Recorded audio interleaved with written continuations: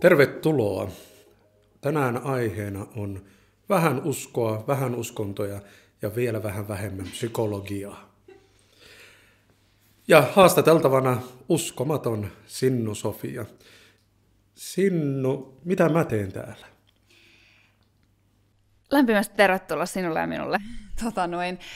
Tässä on siis Otso Laksenius, mun ystävä, ja tota, hän on tullut tänään ottanut mikrofonin kaapannut ja tullut haastattelijaksi tähän jaksoon.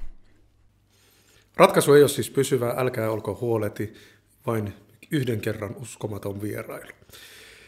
Sinnu, meillä on tänään aiheena usko, uskonnot ja psykologia ja vähän kaikkea siitä. Kerro sun aivan semmoiset niin päällimmäiset ajatukset kolmella sanalla, että mihin sä oot tullut. Niin kuin. Kauas, syvältä, uusiin ulottuvuuksiin yhdellä sanalla, yhdessä sanalla. Uusi ulottuvuus on yhdistetty sanaksi. Tuota, sun matka on ollut pitkä. Sä oot tullut pitkän matkaa tuolta Etelä-Pohjanmaan pelloilta käyden tuolla rakkaassa Itä-Suomessa ja siinä kaiken tämän kilometrimäärän lisäksi on tapahtunut aika paljon muutakin. Tämmöisestä umpi-hippi-hellarista on tullut psykologi, kovan luokan psykologi. Mitä sun matkalla on tapahtunut? Niinpä. Öm, se on varmasti totta, että mä oon ollut kunnon hihuli, mutta siis ehkä se, mitä säkin muistat musta, on, on se, että mä oon ollut erittäin aktiivinen kristillisissä piireissä ja uskovaisten yhteisöissä toimia ja äh, myös aktiivinen uskoja sydämestäni Jeesukseen Jumalaan ja kristinuskon ydin perusperiaatteisiin. Ja ehkä tällä hetkellä mä voisin sanoa, että ne asiat ei ole mulle niin tärkeitä, mutta mä koen, että ne on sen verran tärkeitä, että mä haluan puhua niistä. Ja haluan omistaa niille muutaman hetken tässä. Ja tällä hetkellä ehkä mun ajatusta ei määrittele enää kristinuskon ajatukset, eikä, eikä mun uskoa maa, niin kuin maailmankaikkeutta ja maailman kuvaa määrittelee enää kristinuskon periaatteet. Ehkä näin voisi niin kuin lyhykäisyydessään sanoa. Tämä oli hirveän hienosti ja monimutkaisesti sanottu. Meillä pohjoisessa on tapana kysyä, varsinkin tietyissä herätysliikkeissä, että ootko sä uskomassa? Mitä sä vastaat siihen? Uskomassa mihin? Niin. Eli kun kristillisissä piireissä kysytään näin, niin sitä tarkoitetaan, että oletko uskossa, oletko uskomassa. Mitä sä tämmöiseen kysymykseen vastaat? No, tämä on sellainen kysymys varmaan, mitä moni, joka, joka on ehkä vieraantunut kristi, kristillisistä piireistä tai jostain muusta, muusta kunnasta, niin joko haluaa määrittää tosi vahvasti, että mä en usko, tai sitten, että mä, tai, tai haluaa välttää koko kysymyksen, niin kuin mäkin tässä teen koko ajan. niin, niin, niin. Mun mielestä mä haluaisin sanoa, että mä en usko, mutta sitten täytyy muistaa, että ihmisille usko merkitsee eri asioita, eli sen takia, sen takia niin kuin haluaisin jotenkin aina määritellä sen uskon, mutta koska kyllähän mäkin uskon moniin asioihin. Mutta ehkä mä voisin sanoa, kun me tiedetään, mistä me puhutaan, niin silloin, että en mä varmaan usko. Jos me jätetään, sä tuossa sanoitkin jo vähän pari sanaa määritelmistä ja määrittelemisestä, puhutaan tosi usein, kun käydään keskusteluita, niin ihmiset sekoittaa kaksi aika oleellisesti erilaista termiä. On usko, joka on siis sitä niin kuin belief englanniksi, jotain, joka on hyvinkin henkilökohtaista sisällä olevaa. Ja sitten on taas niin kuin uskonto, joka on englannin kielessä, tai sekin on kuvattu paljon, paljon paremmin, se on religion. Ja tuota, näin ollen nämä kaksi asiaa, erotetaan niitä vähän nyt toisistaan, vähän ehkä jopa haavoja tuottaen. Kummasta me puhutaan? No jos puhutaan, niinpä, jos puhutaan haavoja tuottaen, eli halutaan erottaa ne, niin silloin ehkä puhutaan aika pitkälti uskonnoista, koska niihin liittyy, se mikä on vaikkapa mun kokemus on se, että niihin liittyy niin vahvasti se yhteisö. Ja niihin liittyy uskon historia, uskontojen historia ja se kaikki keräytynyt tieto ja kaikki kerääntyneet käytänteet, öö, ikään kuin sakramentit, toi, tällaiset traditiot ja muut, niin silloin mä sanoisin, että kun siihen liittyy tällaista, niin silloin puhutaan kyllä uskonnosta. Ja sitten, mutta mä sanoisin itse tuohon toisaalta, ehkä mä vähän siinä mielessä haastan tätä koska tässä podissa voi haastella, niin, niin tota noin, haastan sitä sillä tavalla, että mä itse en kuitenkaan erottaisi uskoa ja uskontoa kauheasti toisistaan. Sen takia, että mun mielestä uskontoon liittyy niin olennaisesti se usko, että se on niin kuin siellä tavalla tai toisella, ja ilman sitä ei koko sitä järjestelmää jotenkin olisi. Ja sitten taas toisaalta mä ajattelen, että ihmiset, mä oon huomannut, että niin kuin modernit kristityt tykkää käyttää edestään sitä sanaa, että niin kuin mäkin olen varmasti tehnyt, että, että mä en ole niin kuin uskonnollinen, vaan mä oon uskovainen. Ja, ja tehdä sillä sitä erotusta siihen, minkä mä ymmärrän, ymmärrän siihen omaan niin kuin, tavallaan siihen historiaan, mikä sillä jollain herätysliikkeellä vaikkapa on tai jollain kristillisellä suuntauksella on, koska ei oikeasti ajatella niin, mitä vaikka jotkut perinteiset suuntaukset on tehnyt, mitä asioita tai ideologioita ne on ajanut. Ei oikeasti ajatella sille ja halutaan tehdä se erotelma, ja sen takia puhutaan siitä uskosta, joka on niin kuin epämääräisempi sana, eli, palataan siihen alussakin, puhuttiin uskosta, niin se on niin kuin, äm, sellainen, että senhän voi periaatteessa määritellä, mitä haluaa, sen, sen uskon, ja, ja se on tosi henkilökohtainen ja tosi subjektiivinen, kun taas sitten uskonnollisuus ehkä on aika paljon kollektiivisempi kokemus ja näkemys jostain ähm, siitä uskosta. Saat se kiinni, mitä mä haen? Joo, saan, saan kiinni. Tuossa on semmoinen hauska paradoksi, että taas jos me mennään niin kuin, y, laajempaan suomalaiseen kulttuuriin, niin siellä hyvin moni taas haluaa sanoa, että minä en usko mihinkään, mutta minä ty- arvostan uskontoja. Minä ymmärrän kristillistä uskontoa, mutta en minä usko siihen juttuun. Eli siinä on tämä paradoksi siitä halusta erottua, mutta kahteen eri suuntaan. Et siinä mielessä olet aivan oikeassa, mutta siltikin mä tuon nyt takaisin siihen haavoja tuottavaan ja siihen kipeään kohtaan, että, että, että, koska nyt kuulijoista moni miettii, että no mikä ero on uskonnolla ja uskolla. Sä tuossa pikkusen ohimennen hirveällä vauhdilla kuvasit, mutta miten sä konkreettisesti, jos sut pistetään selittämään tämä, niin miten sä erotat?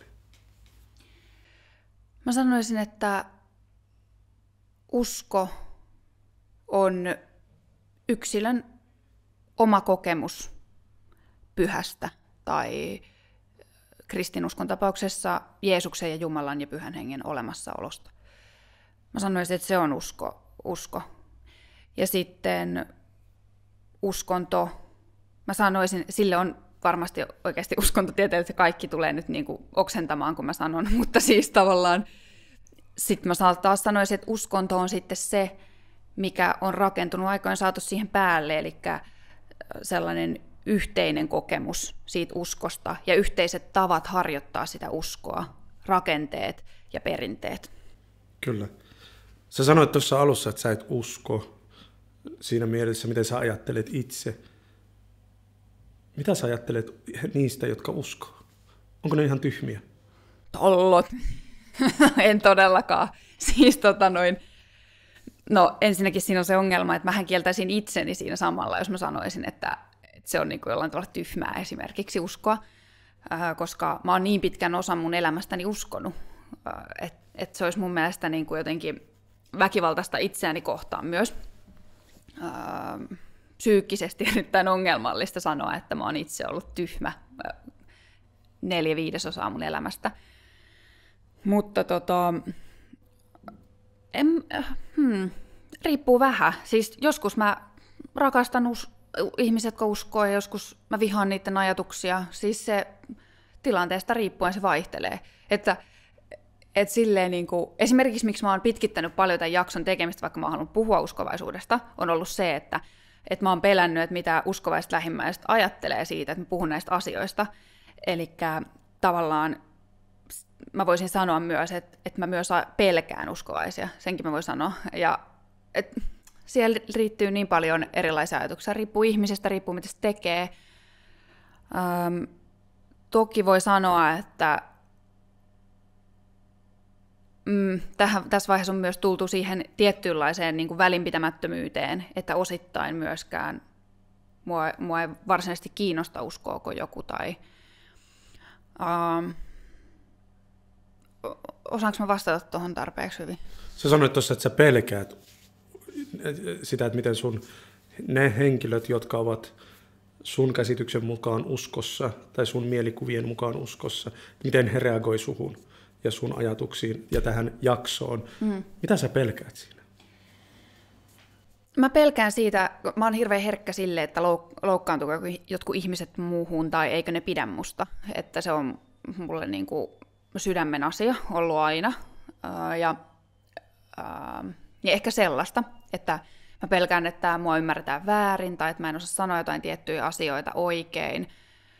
Ja mm, Joo. Oikeastaan mä en, pelkää konse- mä en pelkää sitä, että mitä niinku, ja, ja mä pelkään sitä nimenomaan sen takia, että nyt joku voi ihmetellä tosi paljon siitä, että, että no mitä ihmettä, että miksi pitää, että uskovaistahan on sellaisiakin niinku lampaita tuolla, sellaisia pehmosia, pullan, pullan tuoksuisia tyyppejä, mutta, mutta se ei pidä paikkaansa. se, se ei pidä paikkaansa, koska uskovaisethan on todella osa, ja siis mä luen itseni myös tähän, koska mä oon tosi, ollut tosi niin kuin rationalisoiva uskova ja sellainen analyyttinen, niin mä luen itseni, ja, ja teologinen, niin sitten mä luen itseni myös siihen joukkoille, nämä on oikeasti tärkeitä asioita, ja se ei ole niin kuin, se, että joutuuko joku helvettiin vai taivaaseen, ei ole niin kuin leikin asia todellakaan. Niin sen takia mä, mä itse ajattelen, että joku ihminen saattaa hätääntyä siitä, että, että mä julistan väärää tietoa ja, ja jotenkin niin kuin, mulla on sellaisia näkökulmia, mitkä haittaa ihmisten taivaaseen pääsyä esimerkiksi, tai sitten, että ne huolestuu musta itse, minusta ihmisenä, ja sitä mä en halua tuottaa. Joo, sä tuossa vähän sanoit, että ne ei ole lampaita, vaan suinkaan, vaan tämmöisiä niin kuin jotain ihan muuta. me ollaan kummatkin käyty, ja kaikki, jotka on suomalaisen kouluopetuksen käynyt, ne on aika vahvankin uskonnon opetuksen saanut kristillisen uskonnon opetuksen saanut, tai ei kaikki, mutta suuri osa, niin, niin siellähän muun muassa sanotaan, että älkää tuomitko, ettei teitä tuomittaisi. Niin tuosta sai vähän semmoisen kuvan, että sä kuitenkin ajattelet, että ei se ihan olekaan näin. no tarkkoja huomioita. Tota, niinpä, niinhän se on. Mä en ajattele, että se on niin, koska mä ajattelen, että jokainen uskonto, mikä... Tämä liittyy muihin, moniin muihinkin uskontoihin, mutta mutta kristinuskossa myös, niin tavallaan se oma ideologia tai oma ajatus maailmasta ja jopa taivaasta on totta, ja silloin se tarkoittaa sitä, että se on suvereeni suhteessa muihin, muiden käsityksiin todellisuudesta. Ää, niin sitten sit mun mielestä siihen liittyy sellaista, että ajatellaan, että toiset on tietyllä tavalla väärässä, ja ja halutaan muuttaa maailma sen itsen kaltaiseksi enemmän, niin kuin mäkin haluan. Mä teen tätä podcastia sen takia, että mä haluan, että ihmiset tietää asioista, mistä mä oon itse kiinnostunut ja mitä mä pidän tärkeänä. Niin sitten samalla tavalla ihmiset haluaa muuttaa sitä maailmaa sellaiseen suuntaan, mikä ne näkee oikeana. Ja sitten kun puhutaan uskonnosta, puhutaan oikeasti niin kuin elämän ja kuoleman ja ikuisuuden asioista, niin silloin siihen saattaa liittyä sellaista niin kuin ekstra vakavuutta ja tunnetta ja huolta ja sen sellaista asiaa, versus sitten ehkä jollekin muulle, joka ajattelee, että no me ollaan kuin kedon kukka täällä ja me kuollaan pois ja maadutaan, elämä jatkaa kiertokulkua koko ajan ja näin, niin se ei ole ehkä niin, kuin niin vakavaa, että mitä, mitä sä teet täällä va- maallisen vaelluksen aikana. Niin siihen liittyy usein ehkä sitten sellaista niin kuin, äm, jotenkin vähän tuomitsevuutta muita elämäntyylejä kohtaan. Ja sitten samaan aikaan okei, ehkä nyt päästinkin siihen, mitä sä kysyit tarkemmin, on se, niin kuin, että mistä se tuomitsevuus tulee, on silleen, että se oma maailmankuva on suvereeni, Jumalan tahdon mukainen, niin sitten sen takia muut näyttäytyy huonompina ja moraalisesti arveluttavampana, arveluttavimpana niin kuin tapoina elää tai toimia, muuta kuin se oma moraalikoodisto. Jos mietitään taas erottelua uskonto, usko ja näin poispäin, mitä kristin uskon ydin, eli Jeesus sun mielestä tekisi tämmöisessä tilanteessa? Niin, tämä on, tämä on tosi vaikea kysymys, tämä Jeesus-kysymys, sen takia, että periaatteessa Jeesus, miten hänestä kerrotaan raamatus, niin on hyvä tyyppi, mutta siihen liittyy muita, muita ehkä ongelmallisuuksia, mutta sitten en mä tiedä, suoraan sanottuna mä en tunne Jeesusta enää. Silleen, mä en tunne häntä niin hyvin. Ennen mä olisin voinut vastata tuohon kuin niinku vettä valaen vaan.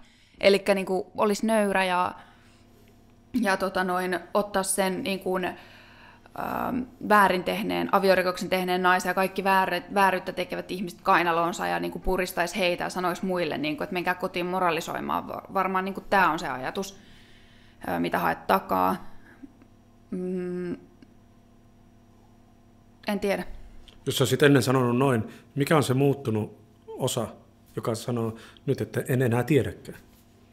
Koska Jeesus ei ole mulle moraalikompassi ja se näyttäytyy sellaisena asiana, mikä voidaan vetää teoriassa mistä, mistä tahansa uskonnossa on pyhiä ihmisiä, jotka on toiminut äh, altruistisesti ja pare, moraalisesti niin kuin korkeammalla levelillä kuin, kuin muut tarinan ihmiset.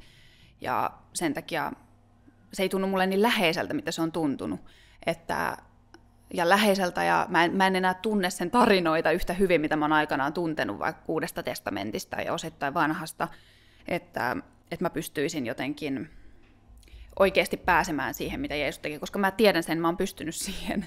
Tämä on, sulla on ollut tämmöinen vuosien matka, me ollaan tunnettu 2014 vuodesta saakka, ja varmaan silloinkin on jo ollut matka päällä tavalla tai toisella, niin kuin ihmisillä normaalisti on. Pystytkö sä enää niin kuin kuvaamaan sitä, että mistä kaikki alkoi siitä hirveän varmasta sinnosofiasta tähän en minä tiedä sinnosofiaan? Joo, varmaan Varmaan pystyy. Öö, no mä sanoisin, että kun mä jotenkin ajattelen sillä tavalla, no ehkä se, hmm, mistä se on alkanut? Varmaan se on alkanut aika pienestä, koska mulla on aina ollut kavereita monessa piirissä, että nuorempana urheilupiireissä on ollut ihmisiä, jotka, mun parhaat kaverit on kyllä ollut niin uskoaisporukoissa, mutta öö, mutta kuitenkin on ollut kavereita muuallakin, että on aina nähnyt sellaista niin kuin ikään kuin muunlaista elämää, tapa hahmottaa. Mä oon ollut sosia- hirveän sosiaalisesti orientoitunut ihminen, että mä haluan tavallaan liittyä muihin ja olla osa, osa erilaisia porukoita ja sitä kautta utelias toisin ajattelevia kohtaa. Että kyllä varmasti siellä on ollut jo jotain tällaista niin kuin meneillään. Mutta sitten uskovaiset piirit ja usko on imennyt, imennyt kovasti mukanaan ja se on antanut niin paljon, että, mä en osaa tunnistaa hirveän var... että mulla sit siitä tapahtui aika rytinällä, kun se niin kuin maailmankuva lähti muuttumaan. Että mä, en, mä voisin sanoa, että se, se on sitten, tota, siihen meni aika pitkään. Mutta ehkä, no mm, mä, sen takia mä vähän kangertelen, koska mä mietin, että kerronko mä niin kuin henkilökohtaista kokemusta, mikä mulla on lähtenyt romuttamaan sitä koko mun ajatusmaailmaa. Mä voin periaatteessa kertoa, mutta sitten siihen liittyy sellainen homma, että mä en ajattele, että se on merkityksellinen, koska mä oon huomannut, että ihmisistä, joilla, joilla niin kuin maailmankuva voimakkaasti muuttuu, niin siihen ei yleensä liity mikään järkeilty asia, vaan se on tunnekysymys. Että musta rupesi tuntumaan toiselta, ihmistä ei sano tälleen, vaan ne perustelee sen silleen niin kuin hienosti, teologisesti tai ideologisesti jotenkin, mutta kyse kuitenkin on usein siitä vaan, että, että, että susta on ensin tuntunut joltain, sit susta on lähtenyt tuntumaan paremmalta joku toinen asia.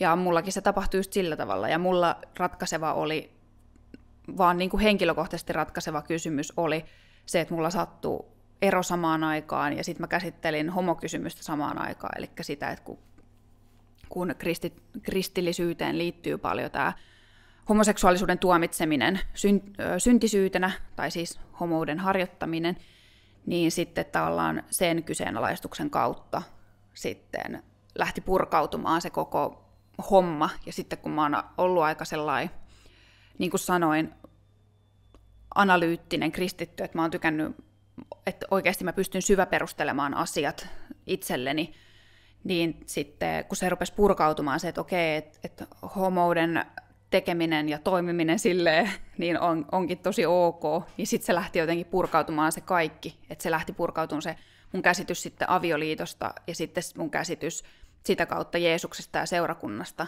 ja sitten sitä kautta ihan siitä uskostakin.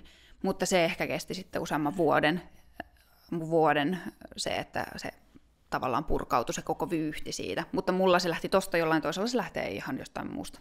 Joo. Pikkusen mennään taaksepäin sun elämässä. Tuota, kuulijat osa tietää varmaan enemmän, läheskään kaikki ei tiedä, minkälaista on elää helluntai-yhteisössä ja, ja tämmöisessä niin perheessä, joka on uskossa. Mä oon ymmärtänyt, että sä oot semmoisesta lähtöisin ja siinä, ennen kaikkea siinä helluntai-yhteisössä mä vähän tiedän eteläpohjalaisuutta ja siellä ollaan aikaa semmoisia, että kun johonkin ryhdytään, niin siihen ryhdytään aika voimalla ja ei nyt ihan väkivallalla, mutta kovalla voimalla ja tunteella, niin kerro meille vähän, että minkälainen se on niin semmoinen niin helluntailaisen elämä. Mm. Tuo on tosi hyvä kysymys. Mä voin sen kertoa, mutta mun täytyy disclaimerina sanoa, että mä en itse ole ikinä ollut helluntailainen by the book, oh. eli kirjoissa. Eli siis mä oon, mä oon kastettu kirkkoon kuulunut ihminen, mun perheessä on osa uskoa, osa ei usko, osa on helluntai-kirkkoon kuuluu siis seurakuntaa ja osa luterilaiseen seurakuntaan. Ja osa ei tarvitse kuulua mihinkään, mä en nyt ole ihan varma, mutta tota noin, sitten, että meillä on ollut sellainen niin kuin semikristillinen kasvatus, sanotaanko näin, mutta mä oon ollut tosi pienenä tosi utelias, että mä oon sitten itse lähtenyt niihin touhuihin tosi paljon mukaan, niin kuin aina kun on päässyt tai on, joku on lähtenyt. Ja sitten, ja mä oon siis ollut luterilaisessa ja helluntai-seurakunnassa ja luterilaisessa seurakunnassa todella aktiivinen molemmissa siihen asti, kunnes, ja, ja käynyt riparin ihan kirkon riparin ja näin. Ja sitten kunnes mä muutin opis, mutta aina toki mä oon kokenut vähän enemmän, että mun koti on siellä helluntai-seurakunnassa.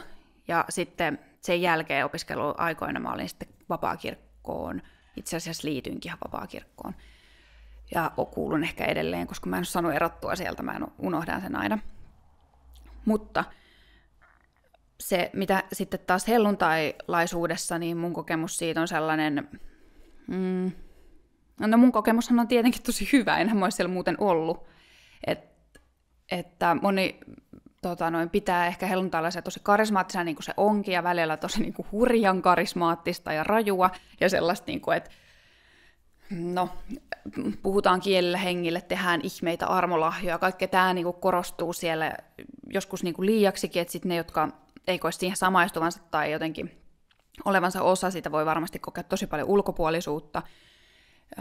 Samaan aikaan se on tosi, helluntailaisuus perustuu siihen ajatukseen, että siellä ei ole ikään kuin nukkuvia uskovaisia. Et, et se niin kuin, esimerkiksi se, että mitä se eroaa luterilaisuudesta on sille, että että kaste, ne ajattelee, että kaste ei pelasta, vaan sitten kun tullaan sinne, kuulutaan, niin kuin halutaan uskoa, niin sitten mennään kasteelle ja sitten kuulutaan siihen seurakuntaan. Eli kaikki on tosi niin kuin aktiivisia, se tavallaan ajaa siihen, että ihmiset on niin kuin, ottaa sen niin kuin tosissaan ja syvältä sydämestään. Ja, mutta joo, varmaan sitten mikä sitä kuvaa on toi armolahjojen ja pyhän hengen toiminnan tavallaan korostaminen ja nostaminen enemmän kuin jossain muissa kristillisissä liikkeissä – ja niin, vaikea sanoa. Siellä eläminen, mä olin sellaisessa pikkuseurakunnassa, mä olin siis pikkuseurakunnassa tosi aktiivinen ja kävin sitten myös isommassa seurakunnassa.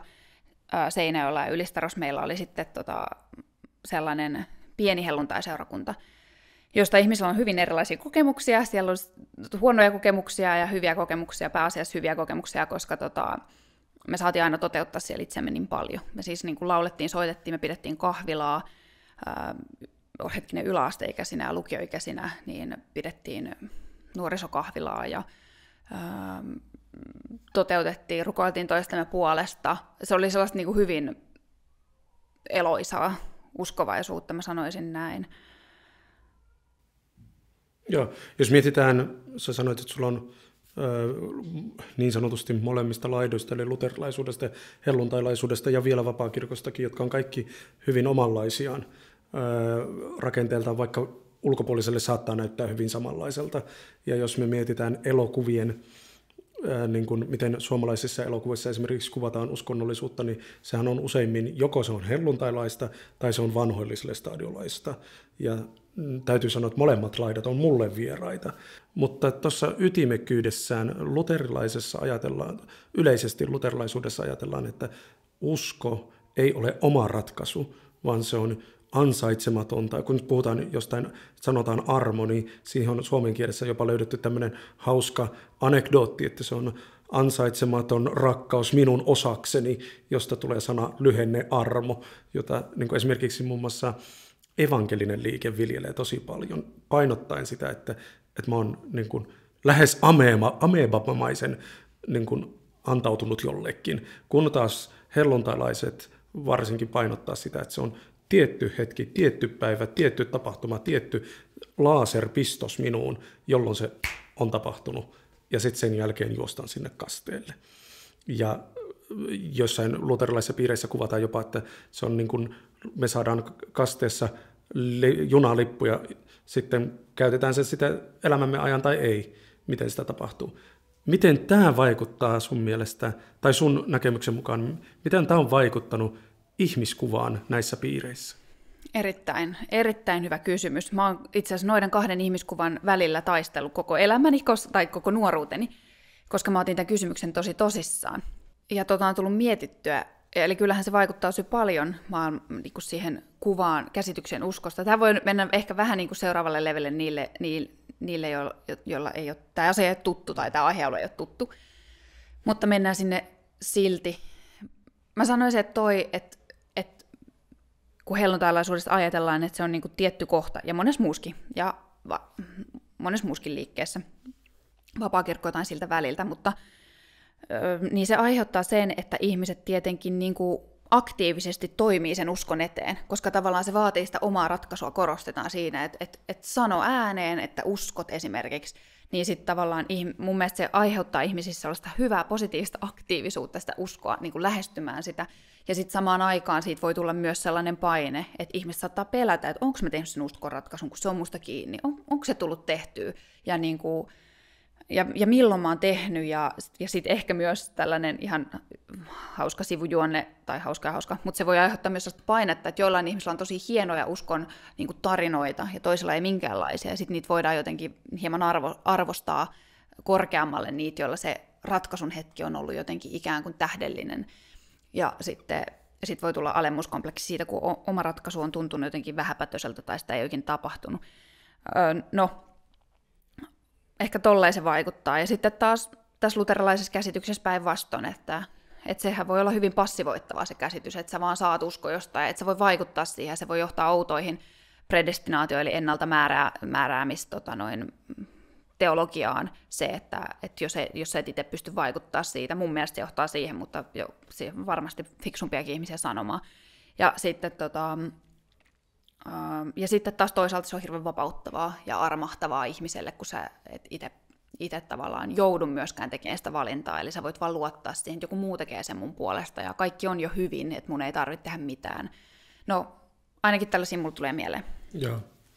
Miten se vaikuttaa, tuota, no mennään pikkusen ehkä eteenpäin, niin sä tuossa vähän alussa jo kerroit, että se on jopa ehkä vähän pelottaa, että miten sun tota, ne kaverit tuumaa, jotka on nähnyt sen Sini-Sofia Savolan, joka on ollut hyvin vahvassa uskossa, jos näin voisi sanoa, ja kuulee nyt pitkän tauon jälkeen katsottuaan vain Facebook-kuvia tai Instagram-kuvia tai mitä tahansa kuulee nyt sun äänen ja kuulee nämä sanat, niin, niin minkä, missä määrin sä koet häpeää tätä asiaa kohtaan?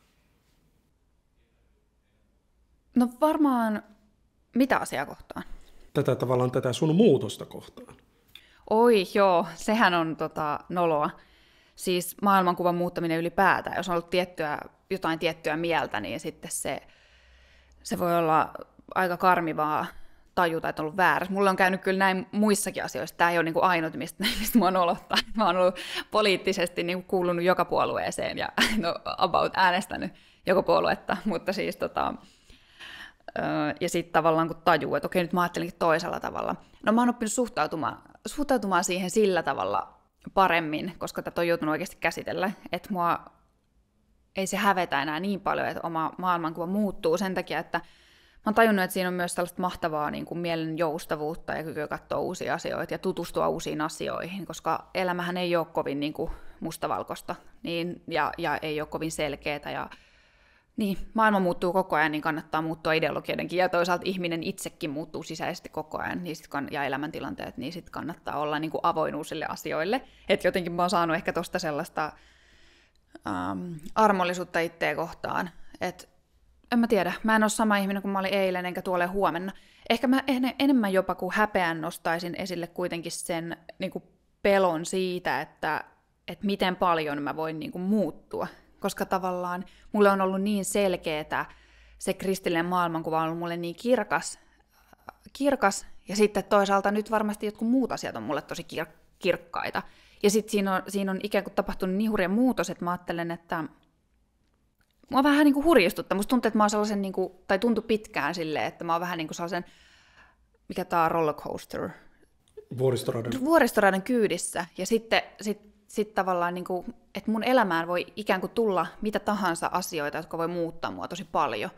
että mua jotenkin se muutos, muutos vähän jopa niin kuin pelottaa, koska mä oon tosi sellainen ihminen, että jos mä ajattelen jotain asiaa, niin sit, sit se menee aina mulla niin kuin poliittiseksi, ja poliittinen menee henkilökohtaiseksi ja henkilökohtainen poliittiseksi. Että mä en pysty elämään sillä tavalla, että mä ajattelen, että joku, joku asia on ok tai joku, en mä tiedä, sosialismi on niin kuin ainut oikea tapa elää, ja sitten mä eläisin toisella tavalla. Et, tai jotenkin toteuttaisin omaa elämää ja pyrkimyksiä toisella tavalla, tai, ja sama kristinusko tai muunkaan, niin sitten tavallaan mua vähän myös huristuttaa, että miten mä rupean ajattelemaan, kun mä perehdyn eri asioihin, niin miten se muuttaa mun maailmankuvaa, ja mun pitää muuttaa elämääkin. Tuo mielenkiintoinen. Palataan tuohon vielä pikkusen. Tässä välissä mä oon itse kanssa semmoinen, että jos löytyy uutta faktaa, niin sitten mennään uuden faktan mukaan, tai jos mä ymmärrän asioita enemmän, mennään sen uuden ymmärretyn Kyllä. mukaan, ja mieluummin katse eteen kuin taaksepäin. Usein ajatellaan, että ö, uskovaiset ihmiset, mä en halua sanoa uskonnolliset, vaan nimenomaan uskovaiset ihmiset, jotka elää hyvin vahvasti sitä kristillistä arvomaailmaa, esimerkiksi kristillistä. Se voi olla myös mikä muuta tahansa islamin, idän uskonnoista, mikä tahansa ja näin poispäin. Mutta uskovaiset ihmiset, jotka uskoo johonkin vahvasti, niin että he on tämmöisiä niin pysyvyyden ihmisiä, jotka näyttäytyy tämmöisille eteenpäin meneville, ne ei näyttäydy pysyvy, pysyvinä, vaan suorastaan antiikkisina, semmoisina suolapatsaina, jotka on jo jäätynyt ajat sitten, kun maailma on jo edennyt. Kuinka paljon sä allekirjoitat tätä mielikuvaa? Uh. No,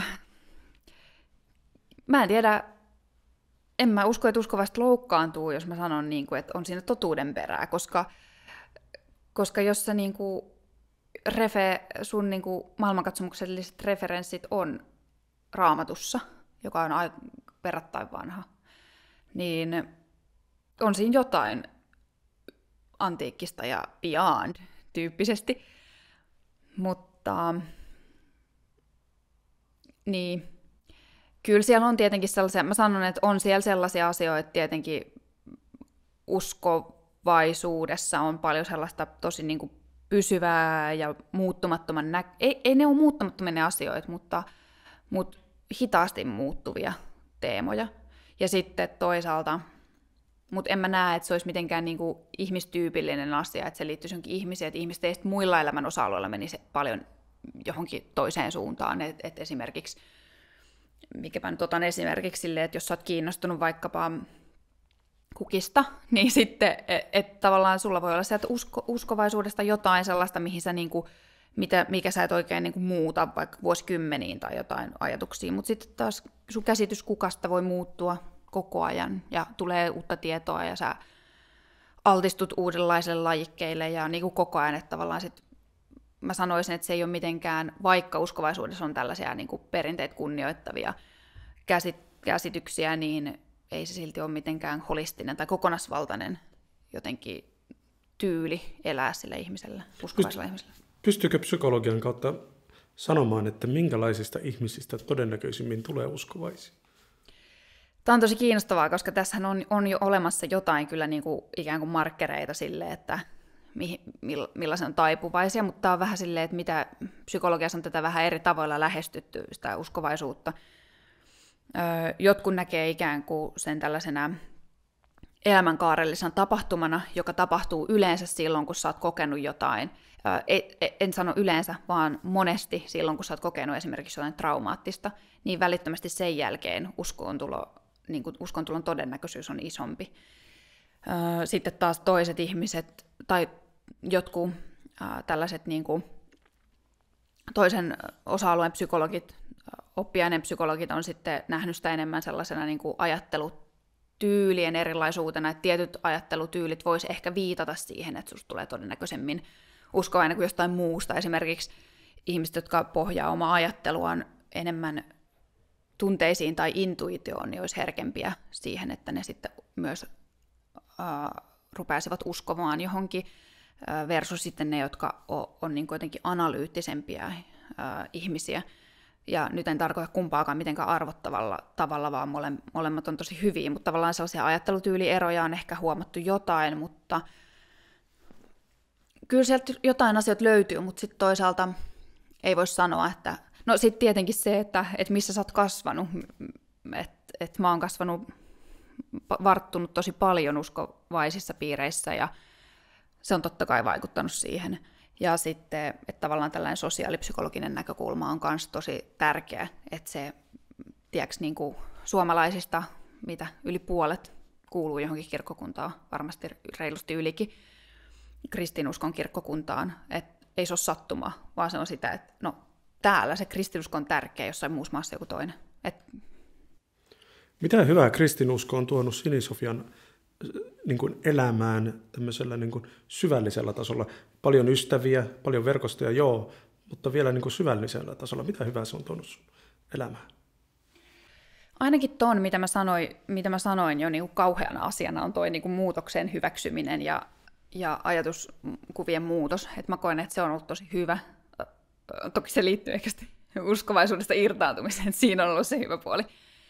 Mutta uskovaisuus ja sitten toisaalta se, että että voiko erottaa tavallaan siitä ajatusmaailmasta irtautuminen ja se, niin on se, että mä koen, että mä pystyn ehkä suht hyvin erilaisiin niin kun, tapoihin nähdä maailmaa samaistumaan. Sitten toki niin, joo, ja ajattelemaan jotenkin sitä, sitä niin kuin, jos joku ihminen ajattelee jotenkin eri tavalla kuin minä, niin se, että miten kyse voi olla niin kuin valtavista, valtavista niin kuin mielen ja tunnemaailman rakennelmista siellä taustalla, versus vain jostain näkyvästä mielipiteestä tai ajatuksesta.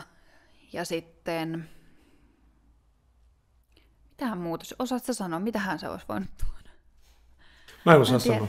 Mutta se, siis sussa en osaa sinänsä sanoa, mutta ehkä tämmöinen niin kuin, itse teen paljon töitä johtamisen parissa ja tämmöisen niin kuin, ö, viestinnän ja tämmöisen parissa, niin, niin ainakin semmoinen, mikä nousee selkeästi tämmöisten henkilöiden taustalta, joilla on tavalla tai toisella kristillinen tausta, niin heillä on tämmöiseen niin kuin nyt trendinä olevaan arvojohtamiseen ja arvojen käsittelyyn niin kapasiteettia, koska he on, koko heidän elämänsä on perustunut siihen, että olen itseni arvioinut jatkuvasti aktiivisesti arvojen kautta, tiettyjen arvopelisääntöjen kautta. Kaikilla on arvot koko elämän ajan ja kristillisellä piireillä se vaan on huomattavasti aktiivisesti pinnalla joka sunnuntai, joka ilta, milloin se on ollut kenelläkin tapana. Niin tämä on semmoinen selkeä iso juttu, minkä itse tunnistan. Ihan varmasti, sitähän se on arkipäivä kaikkineensa niin kuin ihan överiksi asti, että arvioidaan itseään niiden omien arvoja ja toisaalta sen moraalikoodiston kautta. Ja joo, toi on, en osaa sanoa tuosta johtamisesta, että miten siellä näkyy. Ei ole niin tuttu toi, että miten arvojohtajuutta vaikka sisäistetään. Ja varmasti pitää paikkansa. Joo, sitä kautta sen itse esimerkiksi näkee, että jos katsoo esimerkiksi yksin suomalaisia arvokirjailijoita, niin siellä on itse suurimmalla osalla taustallaan joko teologin tutkinto tai hyvin vahva, vahva tuota, kristillinen tausta siinä mielessä. Ottaako psykologia tieteenä kantaa itse asiassa tämmöisiin yliluonnollisiin asioihin ollenkaan? No, voitte kuunnella mun jakson numero, en muista mitä, 60 jotain, ihan hetki sitten. Siellä oli havaintopsykologi mulla vieraana. Ja voi sanoa, että ja sen pohjalta voidaan sanoa, että kyllä ottaa, että havaintopsykologia, eli tavallaan tällaisten niin kuin ajatus, ajatusten ja ajatusvääristymien ja ähm, aistimusten psykologia, niin kyllä, kyllä se ottaa enenevissä määrin, sitähän siinä jaksossa tulee myös ilmi, se on tosi mielenkiintoinen jakso, se kannattaa kuunnella, niin tulee, tulee esiin se, että, että se on niin kuin kasvava liikehdintä myös psykologian alalla, että siitä ikään kuin lähestytään tällä hetkellä enemmän kuin aikaisemmin on, että sitä on pidetty niin kuin outona ja yliluonnollinen ei ole niin kuin todellakaan kiinnostanut ja tälleen, mutta nyt tällä hetkellä se kiinnostaa. Sieltä ehkä enemmän sitä puolta, mutta sitten samaan aikaan mä näen sen asian sillä tavalla, että ei, ei se niin kuin varsinaisesti ota kantaa psykologia mitenkään niin kuin uskovaisuuteen se tutkii sitä niin kuin ilmiönä eri näkökulmista, mitä on jo tullut tässä esiin. Ö, mutta mä sanoisin, että mikä se kysymys olikaan? Että ottaako psykologia kantaa yliluonnollisiin asioihin Joo, niin no tieteelle? ehkä voi sanoa, että ottaa. Siis kyllä no. ottaa, joo. Minkälainen ihmissuhde psykologialla ja kristinuskolla on? Ihmissuhde, niin. ideologiasuhde. Ihmissuhde. Minkälaisia, jos ne tavallaan personoitaisiin, kristinusko ja psykologia, niin minkälainen suhde niillä olisi? Ehkä mä sanoisin heti kättelyyn, että, että se, se nimenomaan sitä ei pystyisi personoimaan sen takia, että jos psykologia olisi vaikkapa ihminen, niin sitten tämä, tämä tota, uskonto taas, tai usko, niin sitten se taas olisi just kukka. Että ne on tavallaan niin kuin, että silloin niillä, ei ole, niillä on sitten niinku kukan ja ihmisen suhde, mutta niillä ei ole niinku ihmisen ja ihmisen suhde.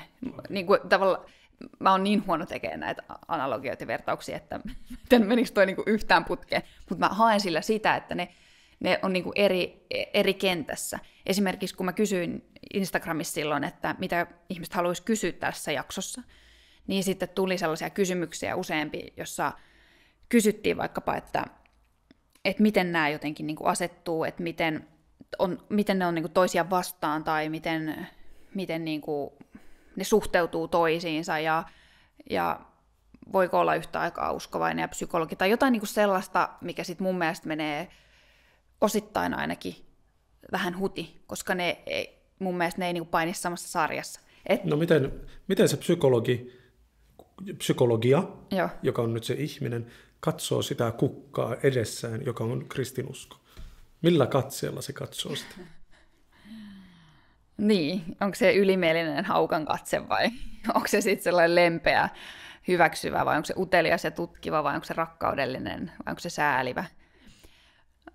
No ehkä mä sanoisin, että se on vähän kaikkea noita varmaan, mutta pääasiassa se on sama asia mikä tahansa tiede, miten se katsoo sitä mahdollisimman neutraalisti ja tutkien eri, eri puolilta sitä, katsoen niin kuin alta ja päältä ja repien sen juurineen ja katsoen sieltä juuria ja niin kuin silleen, tarkastellen, että kyllähän se on tieteen lähtökohta, että sitä katsotaan neutraalisti, mitä siihen liittyy, mitä asioita siihen liittyy. Toki jotkut asiat tietenkin on silleen, että niistä tulee sellainen olo, että tämä on niin kuin tämä vaikkapa, että kun tutkitaan sitä, että millaista hyvää tai pahaa uskonnot saa aikaan, että jos otetaan tällä arvottava näkökulma, niin silloin se voi tuntua siltä, että välillä se katsoo sitä erittäin pahasti, välillä se katsoo erittäin hyvästi. Mä, m- mun täytyy sanoa, että mun mielestä se on aika niin kuin se, mihin mä oon perehtynyt, ja nyt täytyy muistaa, että mä en ole perehtynyt uskontojen psykologiaan tai uskovaisuudenkaan, mutta se, miten, mikä käsitys mulla on, niin mun mielestä niin kuin monipuolisesti. Joo. No otetaan nyt se elefantti tähän huoneeseen mitä moni maalikko, en tiedä miten psykologit, mutta moni maalikko miettii, että mikä on ollut psykologian osuus tällä sun matkalla? No mä sanoisin, että se on ollut, se on ollut niinku herättävänä tekijänä erittäin vähäinen. Et silloin mä itse koen, että se ei ehkä ole mä en mitenkään, psykologia ei liittynyt siihen, että uskoinko mä, tai siihen, että enkö mä uskonut. Mun mielestä se vaan niin kuin on niin. Mä en pysty tunnistamaan sieltä sellaisia asioita. Vaikka siis mä olin jo pitkällä psykologian opinnoissa, kun tämä tuli. Mutta jotenkin psyka ei ikinä ollut mulle niin henkilökohtaista tai tälle. Mutta sitten... Öö, mutta toki kyllähän siellä varmasti, mä altistuin siellä tosi paljon erilaisille ajatuksille ja ideoille ja tälle, että varmaan sitä kautta kyllä on vaikuttanut. Mutta ehkä se on sitten tässä myöhemmin, myöhemmin joku, se on ikään kuin musertunut se mun uskovainen maailmankuva, niin kyllä se on siinä vaiheessa sitten varmasti antanut sellaisia ajattelun välineitä paljon siihen, että, että miten asioita voisi tutkia, jos niitä ei tutkikaan silleen, että mitä tämä tarkoittaa kristinuskon tai raamatun tai Jeesuksen elämän tai tai muiden uskovaisten mielestä tai yhteisöjen mielestä, niin sitten tavallaan psykologia on ollut yksi väline sitten, sitten niin kuin yrittää havainnollistaa maailmaa. Ja. Tehdä siitä järkevää ja ymmärrettävää. Tuolla yleisössäkin kysyttiin, tai noissa kysymyksissä, mitä tuli vastaan, niin kysyttiin semmoista, että miten elää tämän muuttuneen minän kanssa? Mitä sä antaisit tämmöiselle kuulijalle, joka on muuttunut? Hänhän voi olla muuttunut niin, että hänestä on vahvasta uskojasta on tullut ei-uskova, tai sitten on käynytkin toisinpäin, tie on ollut toisen suuntaan. Niin miten sä tämmöisen henkilön kanssa, tai hänelle antaisit vihjeeksi? Niin, paljon varmaan paljon voimia ja tsemppii. Tota, en mä tiedä siis.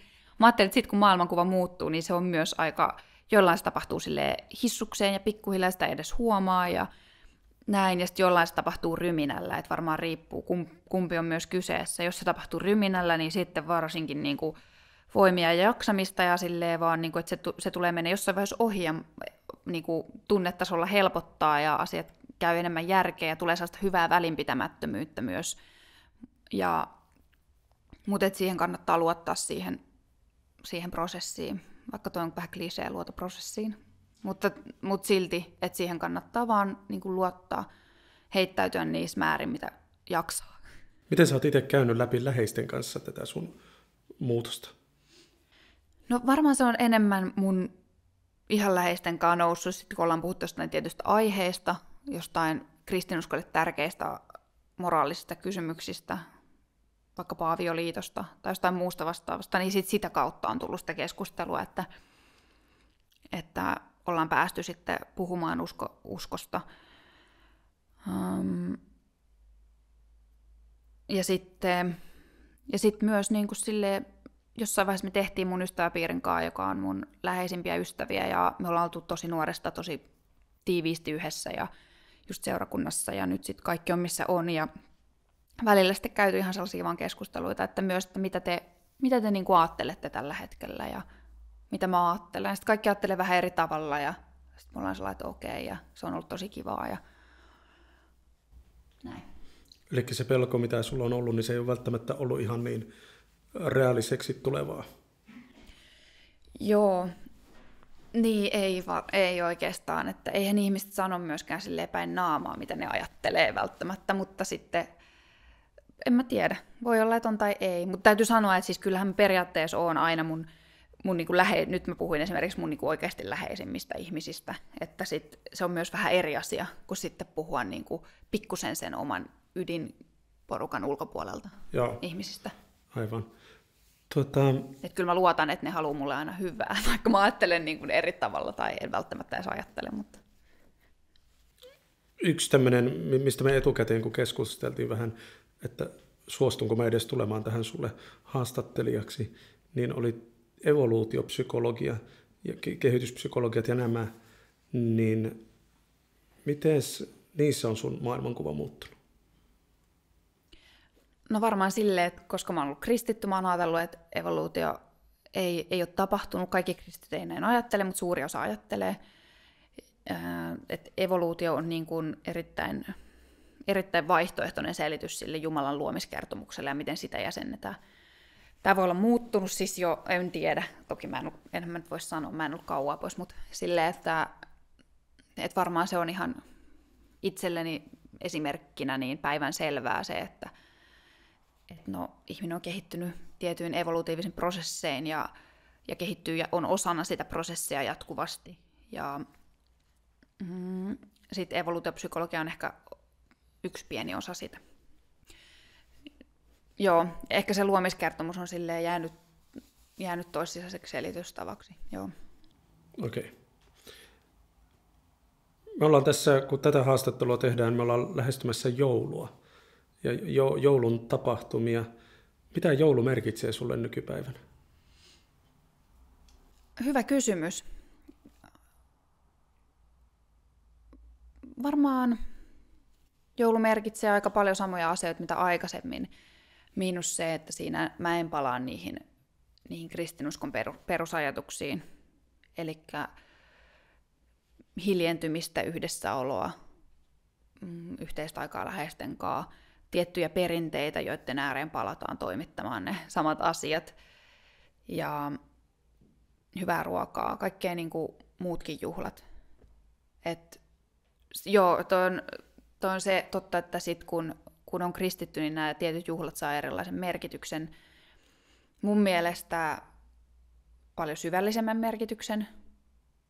Ja sitten samaan aikaan pitää muistaa, että monet kristityt juhlat on pöllitty pakanoilta, tavallaan niin kuin omittu sen takia, että meistä on tullut kristitty kansa, jos näin voi sanoa. Mm, että tavallaan on siellä aikaisemminkin ollut merkityksiä, että en mä silleen näe, että se mitenkään on kauhean merkityksestä. Joo. Jos me mietitään sitten tota, Me ollaan tässä aika laajalti keskusteltu sun, sun tästä tiestä, jos tämmöistä sanaa voi käyttää. Mä oon töissä saanut vähän palautetta, että kaikki ei ole teitä eikä matkoja. Mä tykkään kuvata kaiken teinä ja matkoina. Mutta tätä, miltä susta nyt tällä hetkellä tuntuu? Nyt kun me ollaan tässä keskusteltu. No tämä on yllättävän mielenkiintoista sillä tavalla, että, että käydä näitä asioita läpi ja sitten, sitten sulla on myös hyviä näkökulmia tai hyviä tuollaisia oivaltavia kysymyksiä ja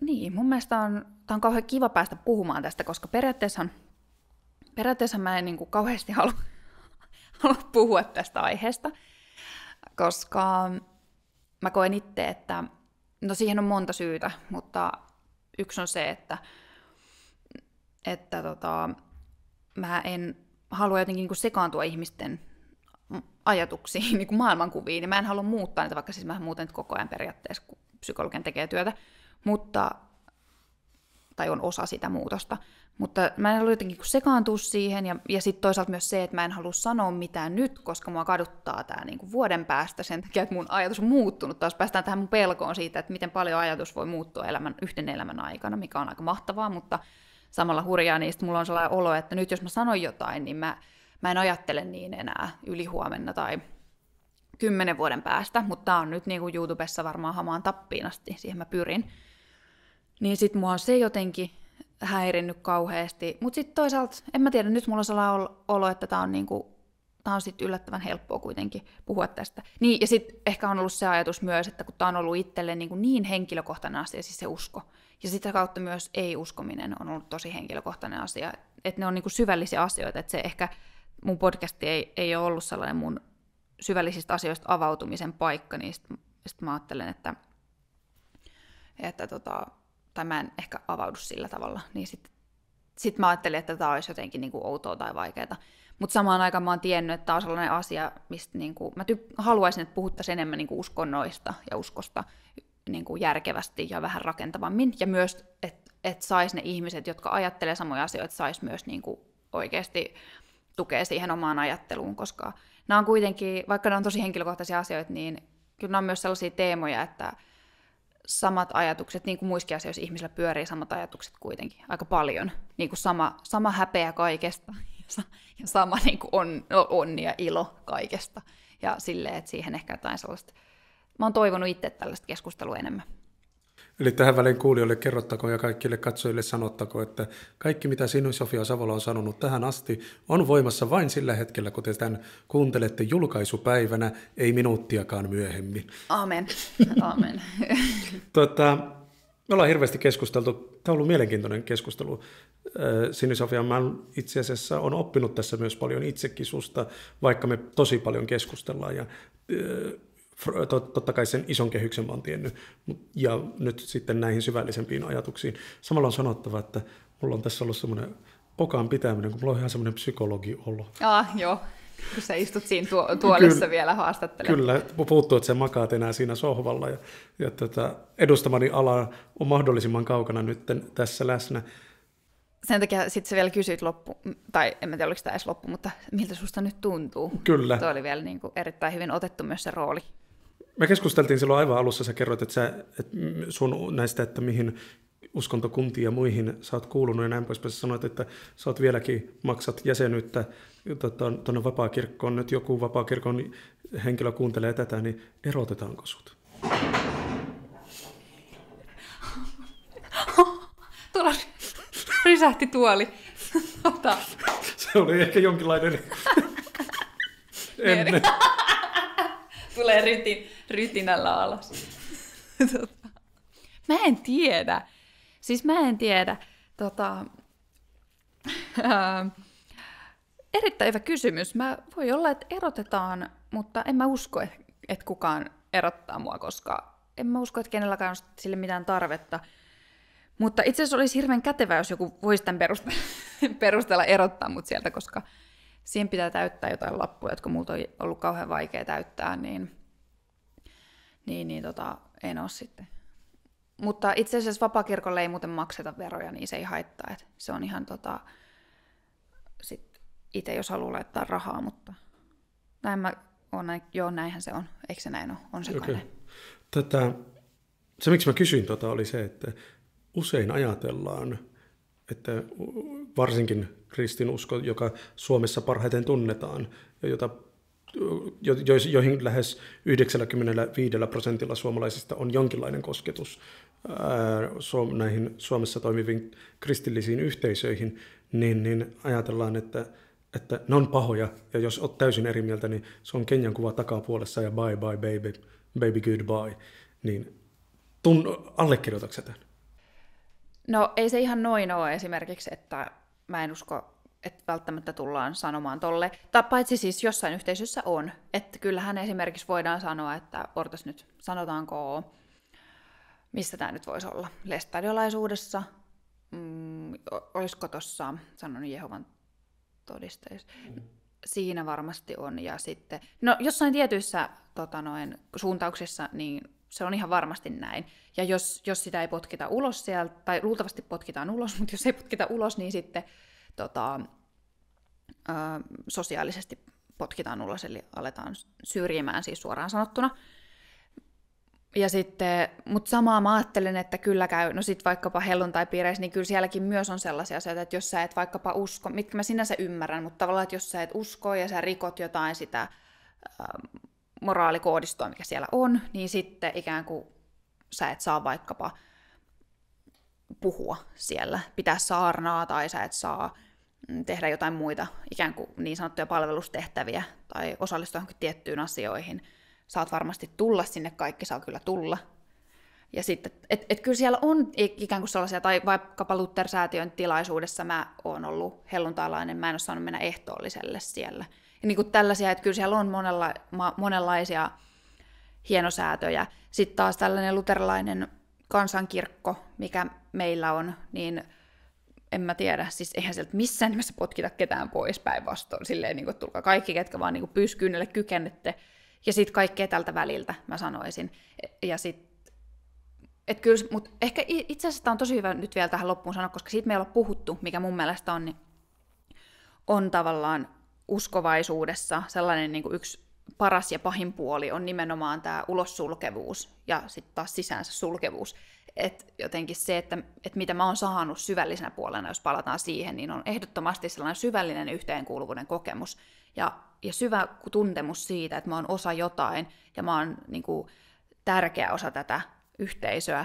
Ja, ja se on saanut vahvistua itse tosi merkityksellisellä tavalla.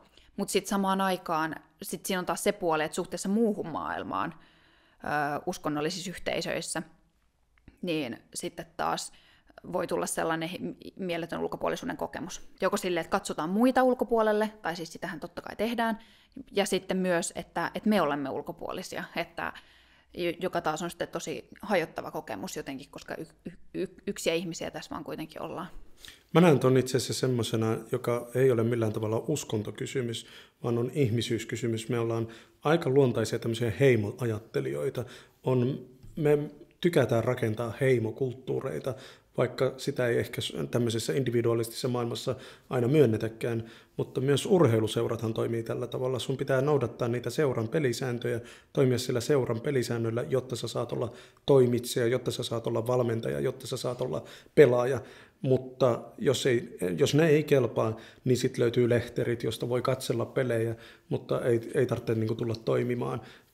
Tällä tavalla toimii urheiluseurat, jos mä mietin poliittisia liikkeitä, poliittisilla liikkeillä on tiukat agendat, joko sä allekirjoitat ne tai sitten et allekirjoita, ja se päättää sen, että kuulut sä joukkoon vai ei. Eli kyllähän tämmöinen heimoajattelu on aika keskeinen ihmisen toimija. Todellakin, ja tuo on tosi hyvä pointti, että sä tuot tuon esiin, että nämä ilmiöt, mun mielestä nämä mitkään ilmiöt ei ole itse asiassa sellaisia, mitä ei olisi jossain toise, toisaallakin, ja sitten taas, mitä, mitä taas olisi vain tässä kristillisyydessä.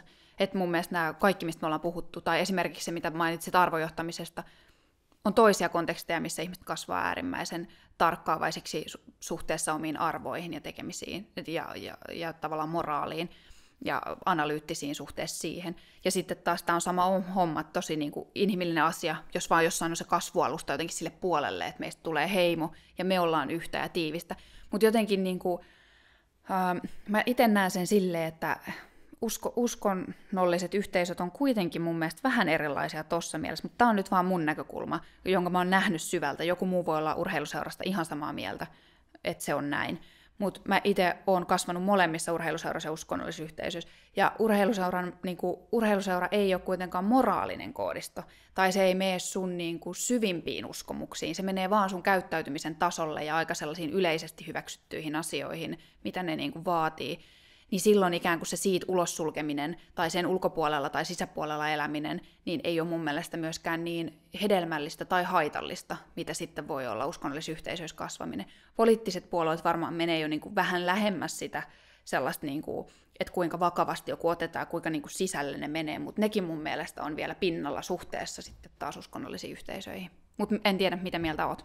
Joo, mä vähän eh, haastan tota nimittäin, mä oon kohdannut itse tuolla järjestömaailmassa ja poliittisen puolen, poliittisen puolen maailmassa mihinkään puolueeseen sinänsä katsomatta, niin mä oon kokenut juuri samoja ilmiöitä, että on, on todella vahvat rajat sille, että on meitä, teitä ja sitten vielä on heitä, jopa jolloin rakennetaan sitä kehällisyyttä, joka määrittää sen, että kuinka cool sä oot. Ja se aikoinaan se avasi mulle tätä ihmisen ajattelua siitä, että me ollaan itse asiassa aika luontaisia heimon rakentajia että mehän itse asiassa tykätään rakentaa. Ja ei, ei ole sattumaa, että työyhteisöt rakennetaan noin 10-20 hengen tiimeiksi, tai organisaatiot.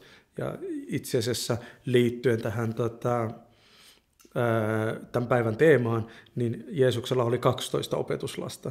Sekin on, oli, on se, uskoo sen olevan todeksi tai ei, niin se on itse asiassa aika niin kuin optimaalinen määrä ihmisiä ympärillä jotta syntyy se mekehä, niin kuin mitä tuon johtamistutkimukseen kun perehtyy, niin sieltä löytyy itse asiassa aika optimaalinen, se pyörii siinä kymmenen molemmin puolin, joka on aika hauska tämmöinen anekdootti siitä, että miten ihmiset itse asiassa toimii. Niinpä. Ja sit sen takia mä ajattelen myös, että jos se ei olisi ollut usko tai uskovaisuus, mikä olisi tullut Suomeen vaikkapa, niin sitten se olisi ollut joku muu. Tai tavallaan, että et, et aina on paikka sellaiselle niin kuin heimoutumiselle, ja nyt täytyy muistaa, että kaikille usko ei ole heimolaisuutta ollenkaan, vaan moni elää, tai varmaan suurin osa elää jollain tavalla vähän niin kuin sen ulkopuolella, sen yhteisöllisyyden ulkopuolella.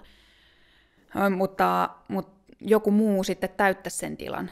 Mutta sitten mä itse ajattelen, että silloin kun puhutaan siitä, että silloin kun sen tilan täyttää sellainen fundamentaali uskomussysteemi, niin silloin se on kuitenkin, mä itse otan sen paljon vakavammin, että silloin kun se, ja, ja varsinkin kansankirkko, joka on määrittänyt suomalaista lakia esimerkiksi, niin ei se silloin, mun mielestä tämä heimoutuminen on vähän niin kuin yksi, yksi niin kuin hyödyllinen, mutta yksi näkökulma vaan siihen, miten sitä pitää arvioida, että et tota, erityisesti silloin, jos uskonnon varjolla ruvetaan vaatimaan muilta jotain asioita, niin silloin tavallaan mun mielestä pitää olla tosi tarkkana, että mitä siinä heimoutumisessa oikeasti tapahtuu ja sitten ja, ja kuinka ikään kuin yleisesti hyväksyttyjä ne ideologiat siellä sisällä on.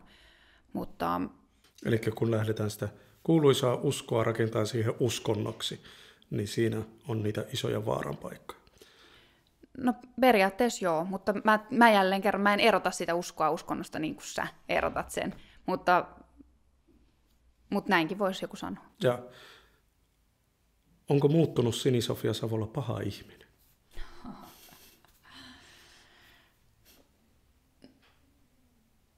Aivan hemmetin hyvä ihminen. No ei vaan, siis, siis tota, onhan se paha ja on se hyväkin. ei ole tehnyt usko huonompaa eikä pahempaa, mä ajattelen näin. Tähän lopuksi vielä tietyt teesit on mulle tyypillisiä juttuja, niin taas kolme sanaa. Millä sä sulkisit tämän keskustelun kolmella sanalla?